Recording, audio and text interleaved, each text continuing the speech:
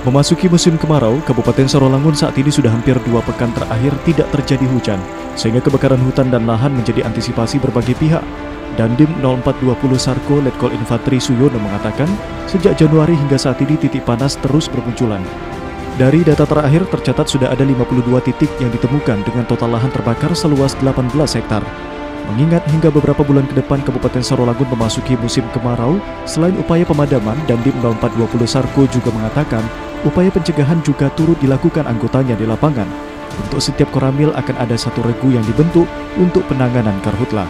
Apa nih Pak untuk mengantisipasi karhutlah sendiri? Baik, yang pertama kesiapannya adalah e, selalu berkomunikasi dengan Manggalakmi dengan BPD untuk memonitor eh, titik-titik hotspot. Yang kedua menyiagakan uh, koram-koramil untuk selalu uh, siap ke wilayah yang sudah terdeteksi api.